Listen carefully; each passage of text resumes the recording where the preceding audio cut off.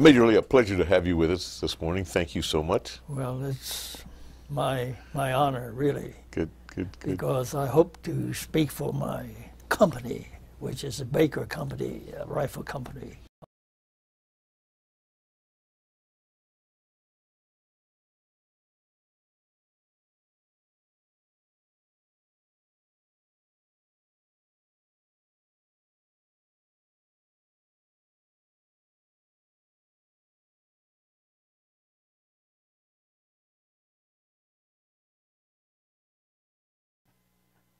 When we went uh, from Incheon, Seoul, around the peninsula up to Wonsan and move on out towards the Chosin reservoir, there was a small town called Sudong.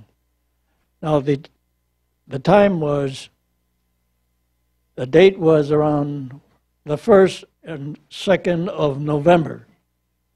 That was when the Chinese first were encountered by the Marines. They had one division that attacked the 7th Marine Regiment, which was the spearhead regiment throughout the Chosin reservoir fighting. We were attacked and uh, partially overrun as far as the frontline companies were concerned. But we punished the enemy and uh, again uh, demonstrated the, the effectiveness of a Marine Corps uh, firepower and, uh, and training. And uh, that was when uh, I was first wounded at the Battle of Sudong. We had tried to maintain the uh, very strategic, vital pass called Toktong Pass out there, where the 5th Marines, and the 7th Marines were north towards uh, Yudamni, which was the farthest most place.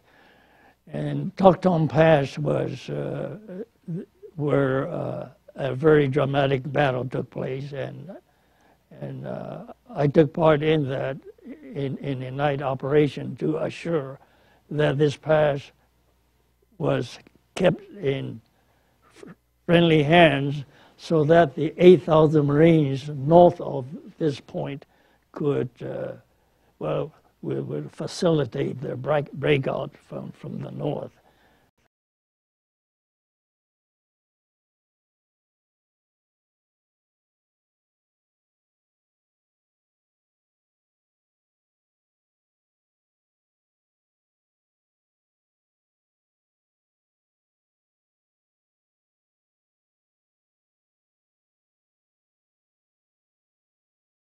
When we were reduced down to very basic elementals uh, in, in, in this night attack.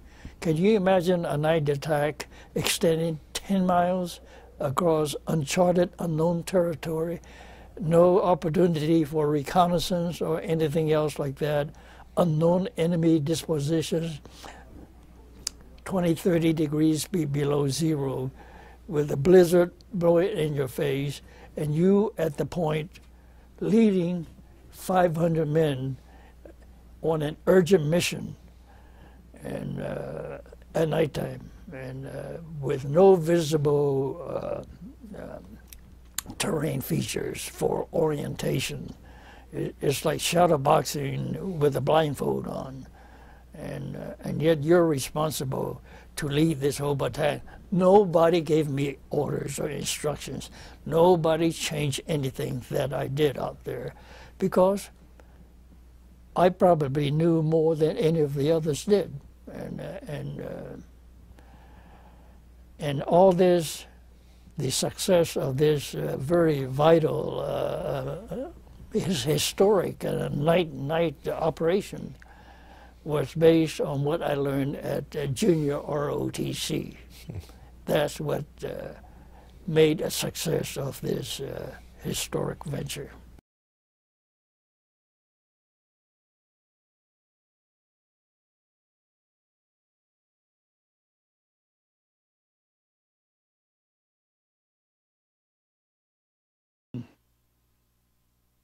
I had the honor to lead a machine gun platoon into the Incheon landing as the division reserve about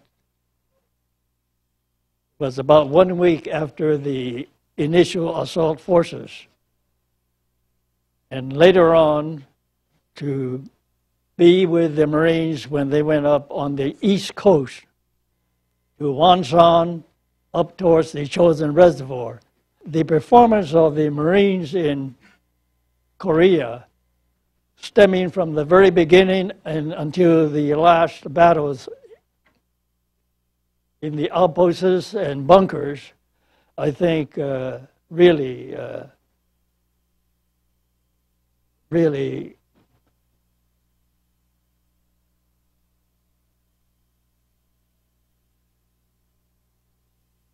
bolsters our image in every every way.